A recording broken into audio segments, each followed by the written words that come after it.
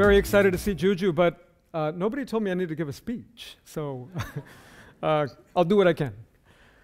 How many of you have crossed an international border? How many of you felt frustrated at an international border? As a social scientist and a scholar of public law and international security, it's hard not to find borders extraordinarily compelling. Wars are fought over borders. We spend billions of dollars securing borders. Borders are important to Americans. But I want to give you a somewhat more personal perspective. And I want to ask a simple question What do borders tell us about the world? Now, probably like many of you who have children, I look at this question through the eyes of my own kids. And I remember being in Seoul, South Korea, two years ago with my family. My uh, son was then four years old. And he's this little Palo Alto uh, child, and he's walking around fish markets and uh, uh, watching the hustle and bustle. And he's groping for the words that he wants to tell me to explain what is happening to him. And one day, we'd been there maybe three weeks, a light bulb goes off, and he looks up at me, and he comes up with this sort of earth shattering revelation. This is different from our land. Maybe it was the Korean War veterans who were protesting the Japanese embassy outside our apartment every day. Maybe it was the explosion of colors in the fish market. But he knew he wasn't in California anymore A couple days later, I was in the Korean Foreign Ministry, and I had a chance to talk to uh, an individual who worked for the Korean Foreign Service. And he talked to me a little bit about his impression of the United States. He looked out the window of his 12th floor office and pointed to a yellow building about two miles away. And he said, That is where I went to school. And when I grew up, I was taught that this was a special country because every single person in the country was Korean.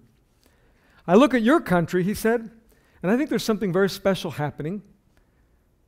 America is connected to the world. People come to the United States from all over the world, they make their home there.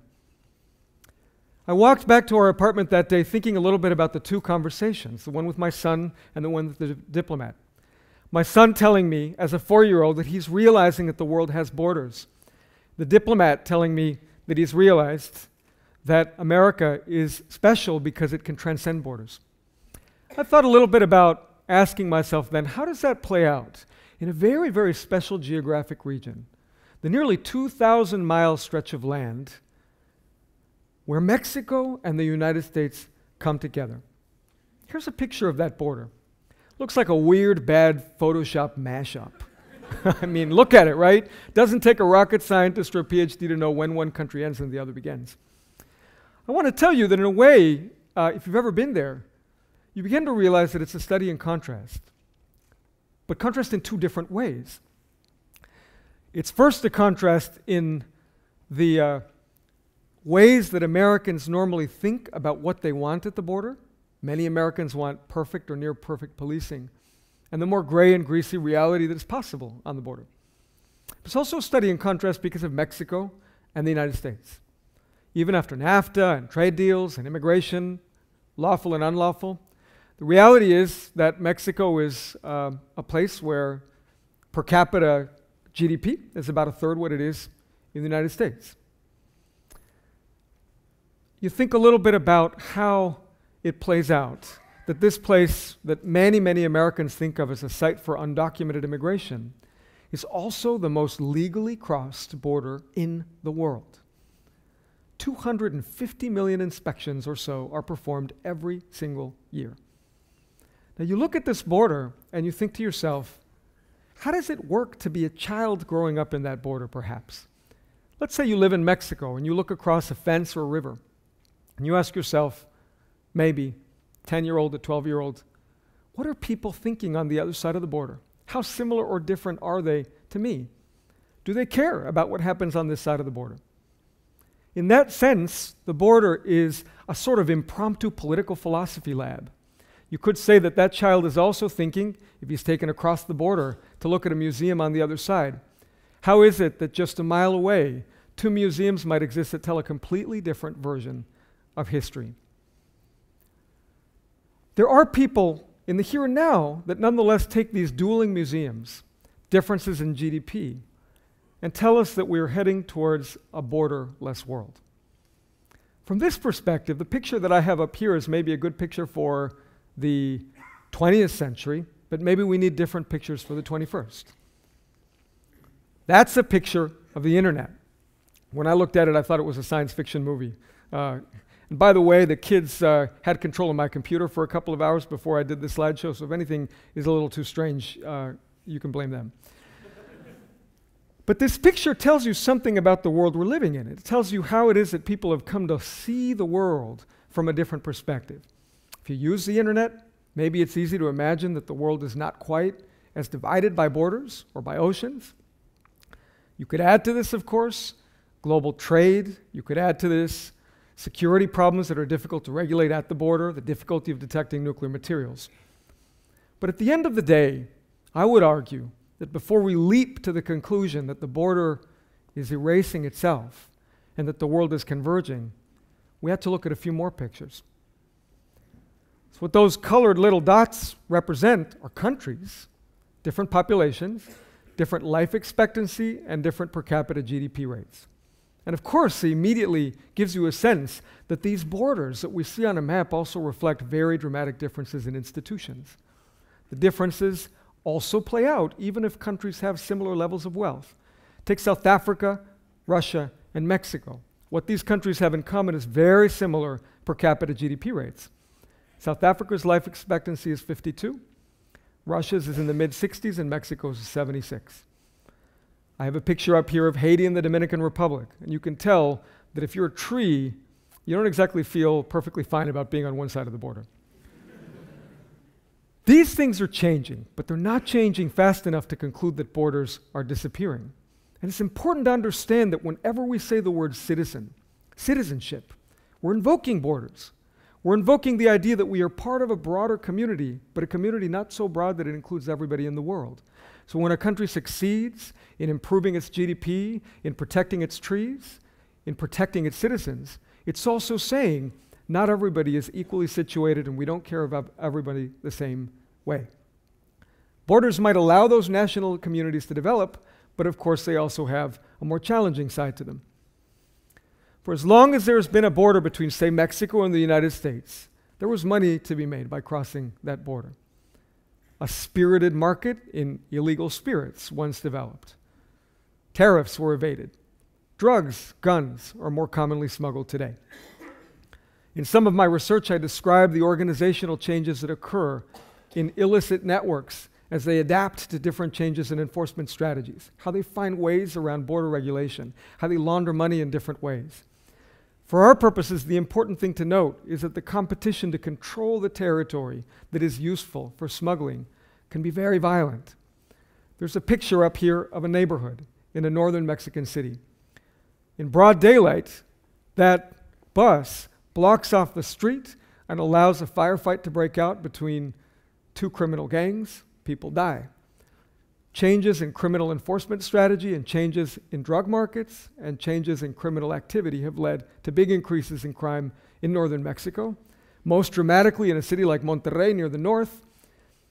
In the middle of 2009, there were about 20 deaths a month that were drug related. By 2011, the number had risen to 180 a month. The problems that arise in or near the border underscore not only the complexities of regulating the border, though, but also the fact that many problems stretch across borders. They could involve law enforcement and crime. They could involve environmental protection. They could involve food safety. And the irony, of course, is that as countries take on those problems that involve crossing borders, they often also have to cross a different kind of border the borders that exist between two different agencies in government. Let me give you an example from a problem I worked on. A great deal of the food that you eat in the United States comes from abroad. It crosses borders. 80% of the seafood, 50% of the fruits. How do you make that food safe? There is no way to do that without getting the customs service and the law enforcement people there to talk to the lawyers and the doctors at the FDA, to work with the trade negotiators at USTR. In this building, in the White House complex, People work day and night to try to get these agencies to talk to each other. And let me just tell you if you think it's hard to get people from across different countries to talk to each other, you should try getting people from different agencies to talk to each other. this is a problem that was actually of great interest to uh, this man, Franklin Roosevelt. 70 years ago, Franklin Roosevelt, who of course grew up uh, far away from any international border, had an instinct for borders and did what he could to get these borders between agencies to be bridged. On the eve of war, as the US was getting ready to go to World War II, Roosevelt had a problem. His problem was that some of the most important programs for him, involving education and public health, Social Security, were potentially threatened by the fact that the US might go to war. So, what he did is he created an agency that crossed borders between domestic and international affairs, between security and non security, and he melded together defense related weapons research, civil readiness, civil preparation of uh, defense related industries, with public health, education, social security, and he created an agency called the Federal Security Agency. In doing this, not only does Ro- Roosevelt protect these programs from the chopping block, he also created today's Department of Health and Human Services. FDR saw that by crossing borders between the domestic and the international, you could build something new. You could create maybe a more adaptive agency that could figure out the connections between education and public health, between defense and social security. He recognized that what you might call the edge environment emerges at the border between two countries or two jurisdictions. So it can be two, perhaps, with international borders. In Tijuana and San Diego, about 380 miles from here, the group Mainly Mozart uses classical music to bring people together across borders. Musicians from both countries play together to audiences from both countries. In Dadaab, in Kenya, in a refugee camp not far from the border with Somalia, despite the challenges, refugees find ways of starting small businesses. The man that's in this picture right here is a web developer. He taught himself how to do this on cell phones and has his business in a refugee camp. The fact that these edge communities can develop crossing these kinds of borders might make us feel like even the most tradition bound institutions in the world could change. And I'm talking, of course, about universities.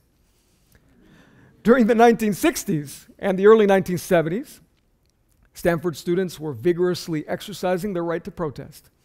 The building you see here is Encina Hall. It's a block away from where we're standing. Stanford students concerned about the blurring border between what they took to be the defense establishment and universities, decided to take over Encina Hall one day.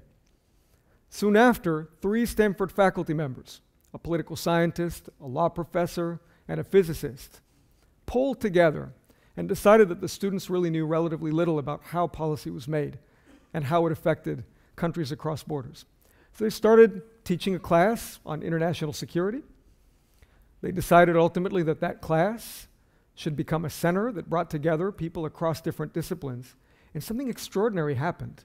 Over time, this center that became so adept at crossing disciplinary borders attracted some amazing people future cabinet secretaries, future assistant secretaries, future ambassadors. You can see some of their pictures right here.